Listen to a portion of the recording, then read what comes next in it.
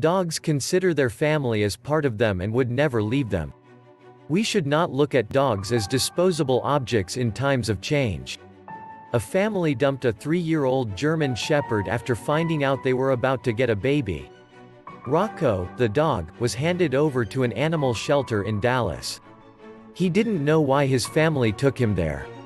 With his face looking sad, Rocco looked up and asked passerby, what am I doing here? Adopting a dog to a shelter is very traumatizing. The dog is not used to the smell and noise in such an environment, let alone the people found there.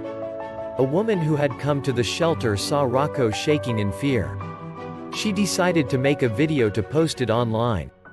She hoped that a rescue group would come out and help. The video caught the attention of a foster affiliated to DFW German Shepherd Rescue. After looking at the video, Preethi Pillapakam headed for the shelter to rescue the dog. She told the dodo that the environment in a shelter was unfit for Rocco.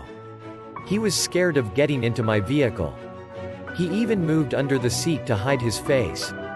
He was panting a bit and looked stressed. At the time of adoption, Rocco weighed 60 pounds.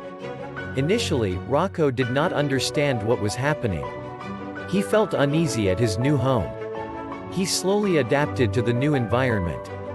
He found a German Shepherd in the new home, and with his help, he started playing with toys. This is wonderful. Rocco had lost hope completely, a post in an Instagram page dedicated to.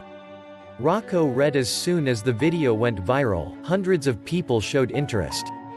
Lady Luck fell on one woman who was chosen among many to become his new mom. Rocco will now become part of a new family. The family has another dog that will help keep Rocco busy.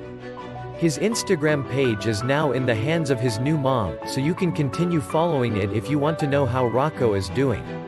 All the best Rocco, we would like to thank everyone who helped save Rocco. Blog page, barkpooch.com Facebook fan page, Twitter and Instagram, I love my dogs. We hope you liked the video. Please hit the subscribe button to get more updates.